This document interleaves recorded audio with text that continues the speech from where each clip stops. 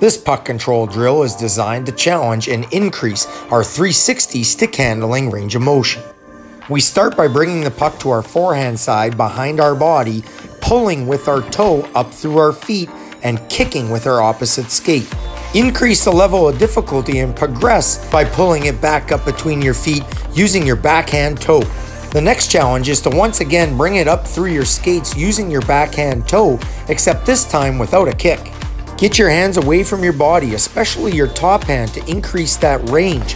Roll your wrists, snap the puck using your backhand toe.